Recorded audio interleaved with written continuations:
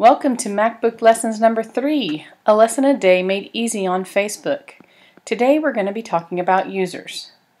When you signed on to your MacBook for the first time, you set up a user account. Today we're going to learn how to set up additional users so that you and your family can share the computer and not interrupt each other's settings so that your mouse works the way you want it and their mouse the way that works the way they want it and so on. So we're going to first go into System Preferences. And in System Preferences, you actually have under System, Users and Groups. So if you click on Users and Groups, you can come in here and you have to unlock right here before you begin creating new users. So it's going to ask you for your computer password. You go ahead and put it in. It'll unlock the computer. And now I have this plus and minus button right here that'll allow me to add additional users if I want to. So if I click the plus button, I can create a new user. It'll actually fill in the account name for me, but I can go ahead and change it if I want to. I put in a password, and if I need a hint to remind me what it is, I can put one in there and then create user. You do not have to have a password. However, if you have children, you may want to put a password on for those kids. My uh, five-year-old could do passwords, so they're very helpful and they keep people out of places they shouldn't be. So now we have the test user.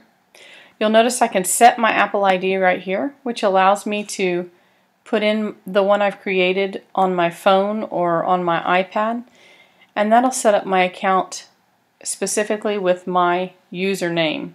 It will not put my settings on any other user. So I can go ahead and do that. Also down here, if you want that person to be an administrator, you can click right here. If you make them an administrator, they can then uh, use their password to add programs and that type of stuff and then enable parental controls right here. I have to say that parental controls is not exactly perfect. We've had issues with it before, not being able to get on certain websites or whatever, even though it is wide open and the controls were only controlling how long the person was on the computer. So while it's nice to have, it's not perfect, so you need to pay attention if there are any issues once you enable it. The parental, parental controls are very nice. Uh, they actually, we'll go ahead and click on I'll show it to you. When you come into the parental controls, it'll actually give you the opportunity to, opportunity to create time limits. So the weekday time limits, the weekend time limits, the bedtime, school nights, and weekend.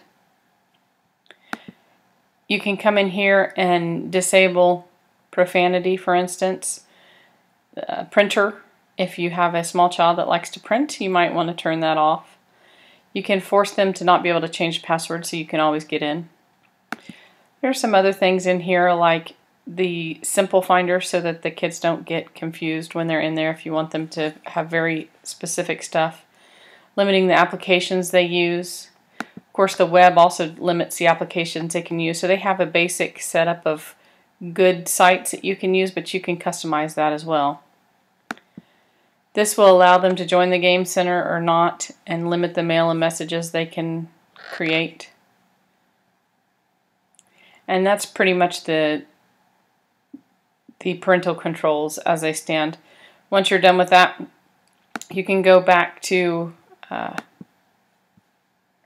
into the users and groups. You're still open, so you can still see test user, you can still see your stuff. Uh, the nice thing right here is that you can reset your password. So if you are in here and you can't remember what it was set at, you as the administrator on any administrator account, so this account right here, if you were logged into this account, you can actually change the password under this one. So as you can see, I can go into any and reset the password because I'm an administrator. And that's this button right here. Basically, that's creating users in a nutshell.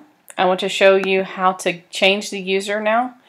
If I'm in my user, which is MacBook Lessons, and I want to change it, all I have to do is click on it.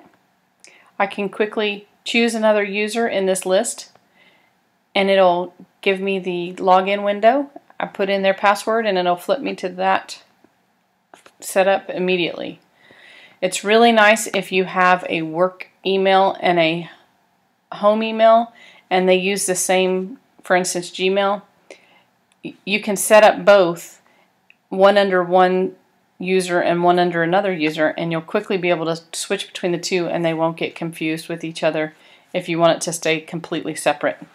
I love that idea and I love what users and groups uh, makes available to me as a iTunes user and as a photo sharing family and that it gives me the opportunity really to share a whole lot of stuff but not share the important things like my uh, contacts and calendars and that kind of stuff. So that's basically it in a nutshell. I hope that was helpful to you, and I look forward to bringing you some more information tomorrow.